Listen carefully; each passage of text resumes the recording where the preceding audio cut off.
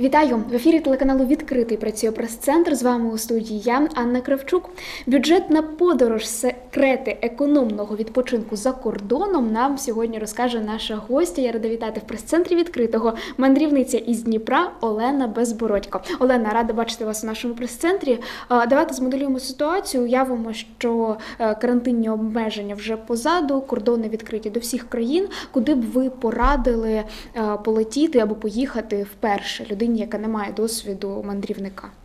Ну, мы уже очень давно ждем этого момента, когда все границы откроются и все люди смогут путешествовать как раньше. А если такого опыта не было, то надо отталкиваться от того, чего вы ожидаете, что вы любите и на какую сумму, в принципе, рассчитываете. Если это горы, природа, вы любите ходить, смотреть, э, где-то лазить и долго проводить время на на улице, то я бы посоветовала все-таки поехать в Норвегию. Туда, а, э, недорогие перелеты, б, очень красивые места, и в, очень даже удачный вариант, чтобы открыть свои путешествия. Если же вам нравится все-таки архитектура, город, какая-то суматоха, то, скорее всего, я бы отправила вас куда-то в Италию, потому что это страна вы туда приедете и влюбитесь, наверняка, э, потому что так было со мной. Это была не первая страна, но э, я была там уже однажды и хочу обязательно вернуться. Там есть и красивые горы, если выезжать за пределы города. Там есть и шикарный центр, город, история, люди, еда. Э, потом, если вы любите море, то это, возможно, будет если подешевле, то Доминикана, можно найти дешевые билеты и поехать туда. Если подороже, то Балі.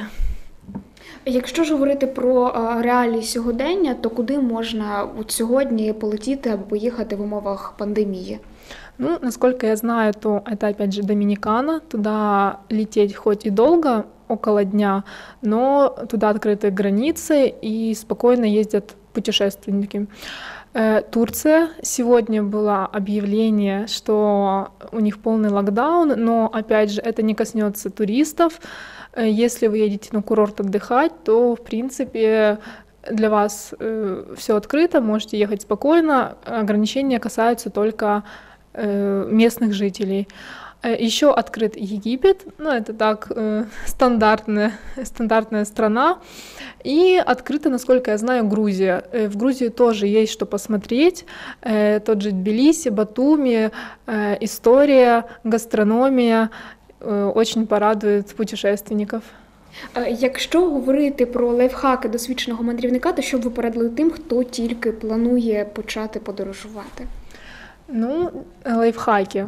Это, естественно, сначала определиться со страной, э, прогуглить, э, сначала понять, что нравится, что хочется, потом прогуглить в интернете, э, какие достопримечательности, где есть, чего хочется, что хочется увидеть в первую очередь, так как это первый раз, и я думаю, что он запомнится на всю жизнь.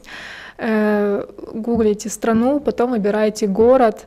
Если недостаточно в одного города, то, естественно, как доехать до того или иного места – продумывайте маршрут. Тоже немаловажно знать, куда вы поедете, э, по какому пути вы будете ехать, э, в какой очередности. Потом выбираете, как вы туда доберетесь. Это же или автобус, или самолет. Тоже зависит от вашего времени и бюджета. Но, в принципе, что на самолете, что на автобусе можно доехать с одинаковой стоимостью. Это так, лайфхаки Э, выбрать маршрут, определиться, с, как вы туда попадете, э, жилье. Э, вы выбираете или же жилье бесплатное, дальше поговорим о нем, или же Airbnb, это сайт, где можно выбрать достаточно недорогое жилье, это же или же хостелы, или же люди сдают в аренду квартиру, или же просто комнату. Там, возможно, по низким ценам жить, ведь вы не будете там находиться целый день, чисто переночевать, самое оно. Які ж секрети ось цієї бюджетної мандрівки, що треба знати, щоб зекономити за кордоном? Э, Чтобы сэкономить на путешествии, необходимо э, за три месяца, ну, около трех-двух месяцев надо э, купить билеты, авиабилеты. Я использую приложение Skyscanner. Э, Там я вбиваю, откуда я лечу и куда. Э, Мне показывается, в каких датах будет э, самая дешевая стоимость, и от этого я отталкиваюсь. Э, Смотрю, какие мероприятия, какие выставки, какие, что будет открыто в это время в той стране, куда я полечу. И покупаю билеты. В принципе, если это другой город, то покупаю сразу билеты в этот город. В основном это был э, Львов, но частенько я езжу еще с Кракова, потому что там у меня родственники, и с Кракова, э, Краков это Европа, Польша, и с, с Европы в Европу намного дешевле полететь, чем с Украины в Европу. Но об этом, это уже равносильная стоимость, потому что доехать до той же Европы и полететь с Украины, это уже будет одни и те же деньги. Э, Потом по жилью вы можете выбрать сервис Couchsurfing, э, там, где вы списываетесь, находите себе э, так сказать, друга в другой стране, э, который согласится тебя, вас принять э, бесплатно, вы с ним списываетесь, понимаете, подходите вы друг другу или нет, э, одинаковые ли у вас там взгляды на жизнь, ну, в общем, притираетесь друг к другу, понимаете, что вы оба на одной волне, и тогда он вас может встречает, может нет, может вы сами до него добираетесь, но он предоставляет вам совершенно бесплатно койко-место, ну, грубо говоря. Э, За это он ничего не берет, просто вы общаетесь, рассказываете о себе, о своей стране, то есть вы просто делитесь опытом и все. А, До речі, от за каучсерфінг продовжимо, якщо можна трішечки детально. Яке ваше взагалі особисте ставлення? і Чи практикували ви? Тому що дуже багато, я думаю, людей а, бояться подібного формату а, житло собі винаймати, якщо можна так сказати, а, ночувати у незнайомця. А, Наскільки це безпечно і де шукати ось цю людину, яка може а, приютити, як ви сказали, виділити койко-місце? Э, Я пользовалась эти- этой, ус- ну не услугой, этим приложением. Я там зарегистрирована. Раньше оно было совершенно бесплатно, но с тех пор, как начался карантин, то, видимо, компания разорилась, и за регистрацию там просят какую-то минимальную, вроде 20 долларов, 20 или 15 долларов э, за регистрацию. И приложение работает все так же. Э, Вы регистрируетесь, выставляете свои фотографии, пишете о себе, чем вы увлекаетесь, э, почему вас э, должны приютить, ну не приютить, а принять к себе в гости как посетителя, не знаю. И все. Вы выбираете дату, э, в каких числах вы будете в том или ином месте ну, в городе. Расскажу сразу про свой опыт. Я летела в 17 лет, меня отпустили родители в Рим, и на это путешествие я потратила около 10 тысяч гривен. Э, С Кракова я летела в Рим, и там я решила останавливаться по каучсерфингу. Я заранее нашла себе кауча, мы друг друга так наз- называем, э, списались, мы общались где-то недели две, а то и месяц э, перед тем, как я к нему приехала.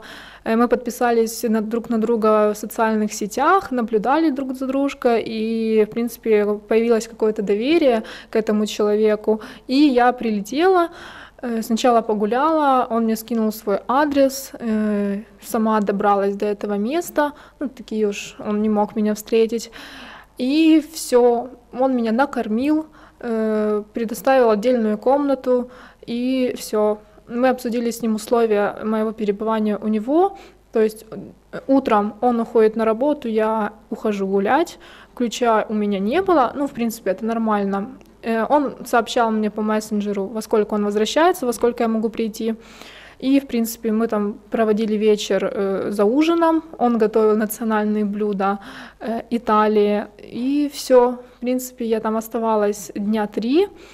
И мы по- по-хорошему разошлись, разъехались, до сих пор э, подписаны друг на друга в Инстаграме.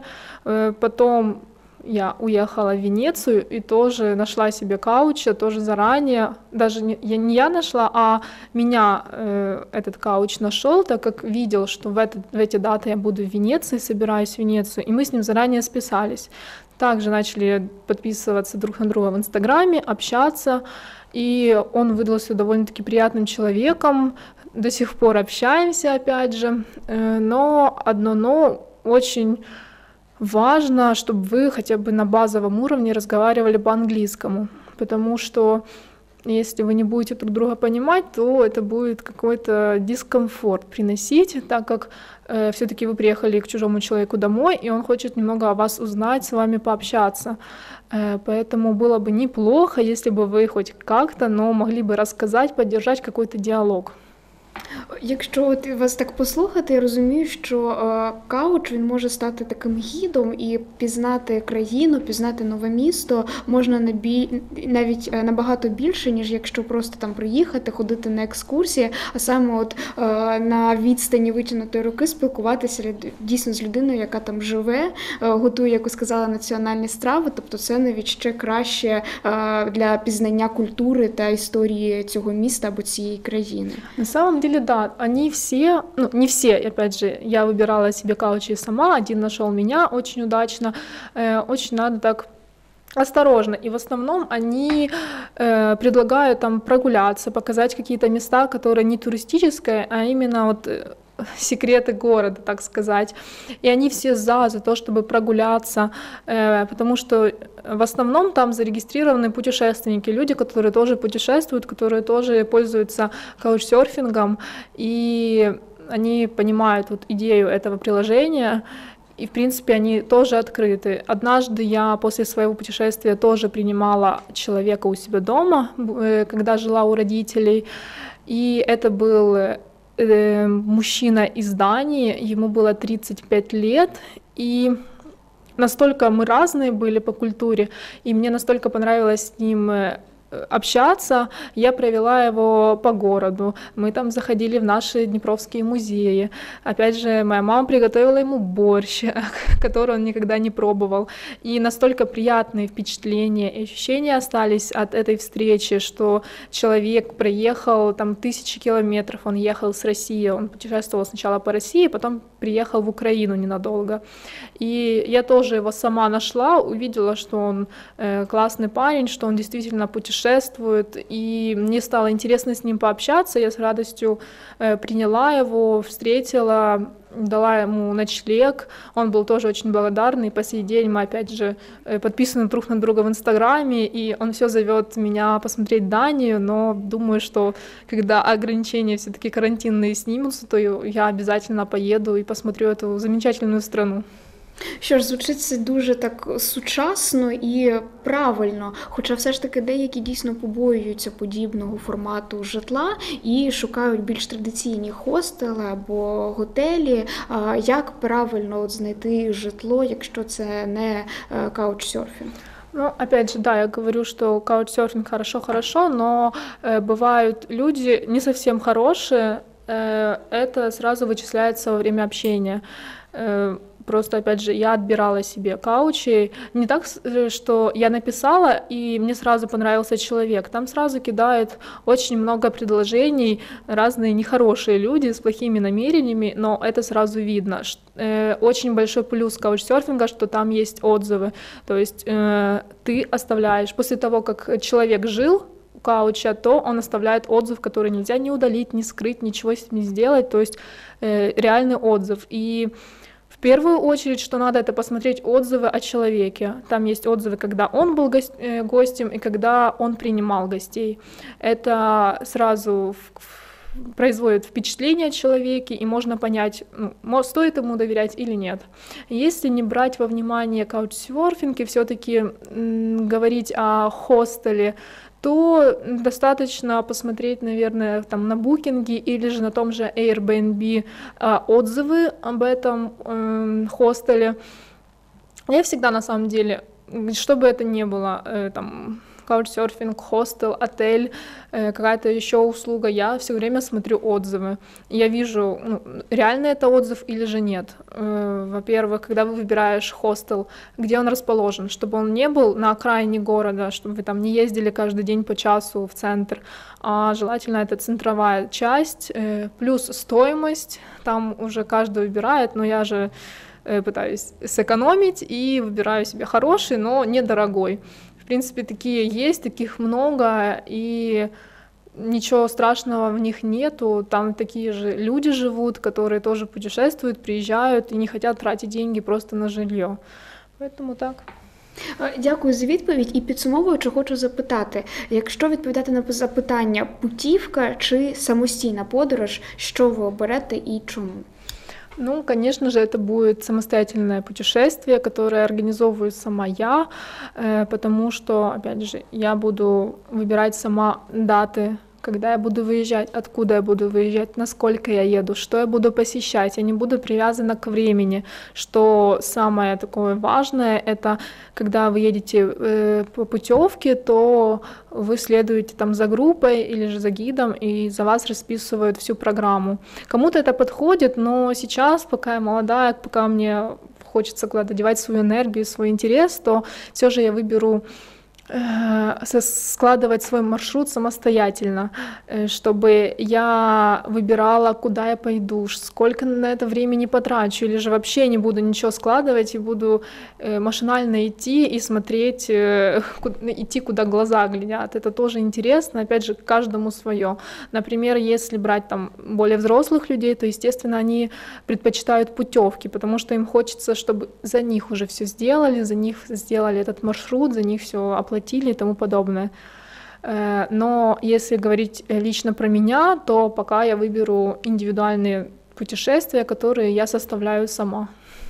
Що ж, вдячна вам за наше спілкування. Сьогодні дізналися про секрети економного відпочинку за кордоном. Про бюджетну подорож нам розповідала мандрівниця із Дніпра Олена Безбородька. Вдячні вам за наше спілкування, за нашу прес-конференцію. Ну а з вами була Анна Кравчук, прес-центр телеканалу Відкритий. До нових зустрічей і не перемикайте.